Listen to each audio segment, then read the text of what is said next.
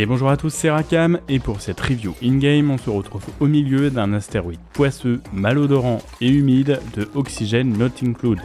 Il s'agit du dernier titre de Clay Entertainment, les créateurs de Don't Starve, le jeu de survie à la Tim Burton.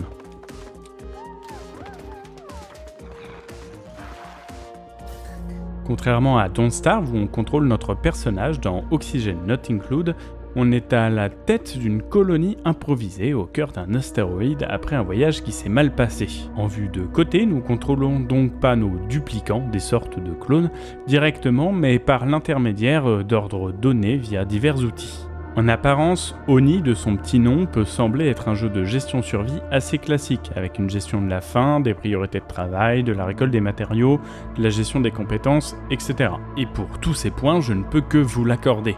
Mais ça, c'est seulement la couche que l'on peut apercevoir quand on ne se penche pas plus amplement sur le gameplay. Un peu comme pouvait l'être Don't Starve, Oni s'avère être un titre loin d'être simple.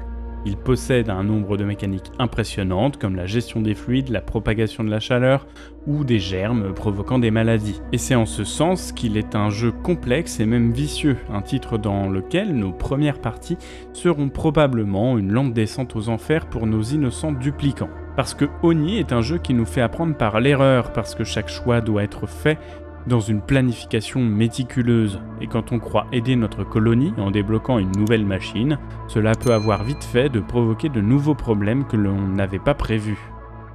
Alors pour le coup, Oxygen Not Include est un jeu de gestion dans lequel il faut avoir vraiment envie de se plonger pour en apprécier toute la teneur. Le tout agrémenté d'une direction artistique parfaitement travaillée et en adéquation avec l'ambiance et le gameplay dans sa globalité. Ainsi, même si on s'en doutait, avec son Early Access, Clay nous signe là une perle vidéoludique comme ils savent nous les faire, et pour notre plus grand plaisir.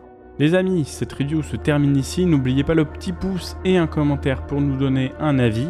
N'oubliez pas non plus qu'on se retrouve tous les lundis et mercredis sur Twitch à 21h pour découvrir plein de choses. Je vous dis à très bientôt, c'était Rakam, ciao ciao